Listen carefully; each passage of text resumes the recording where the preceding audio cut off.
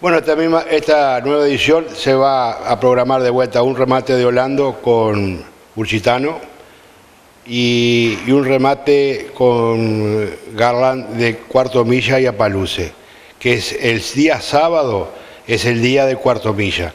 Y a su vez se termina con un remate que este año va por 15 mil dólares, la, la, mejor doma que son esos caballos se vendieron en el Carmelo y se, se, hace, se entrega el premio en, en la expoactiva. Y los Apaluce por primera vez que va por 3 mil dólares. El día viernes tenemos el día del criollo y los holandos. Y el día jueves a confirmar, pero coso es el árabe. Eso es lo que tenemos hoy relacionado. A su vez tenemos otra etapa con la barraca Erro, ¿no? que es muy importante, la 481 con, hecho con este, eh, Holando. Se va a hacer un, una muestra que se puede llegar perfectamente recreando bien los, los novillos Holando a la 481. Para la gente que piensa solamente que va a haber fierros en la expectativa, el sector ganadero también eh, cada vez va creciendo más.